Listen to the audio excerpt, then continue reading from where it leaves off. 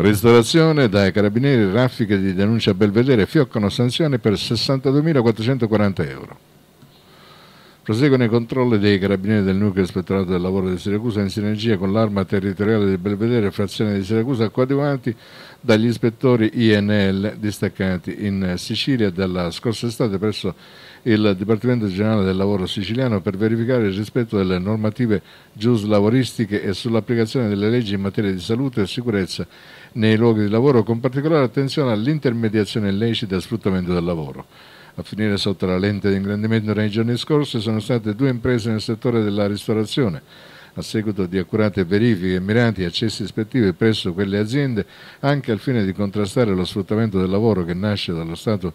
di bisogno proveniente da alcune fasce di cittadini più deboli, i carabinieri specializzati nella tutela del lavoro hanno denunciato alla competente Procura della Repubblica tre imprenditori ritenuti responsabili di non aver opportunamente vigilato sulla messa in sicurezza dei cantieri.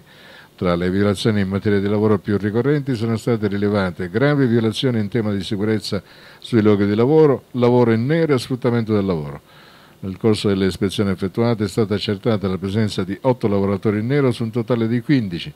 Inoltre i militari hanno denunciato alla competente Procura della Repubblica un lavoratore extracomunitario clandestino ritenuto responsabile di essersi trattenuto all'interno dello Stato italiano senza permesso di soggiorno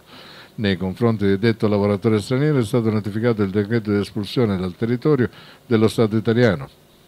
Sono state combinate quattro ammende pari a 33.033 euro e elevate sanzioni amministrative per un totale di 62.440 euro. Nei confronti di entrambe le aziende controllate si è provveduto anche ad adottare il provvedimento di sospensione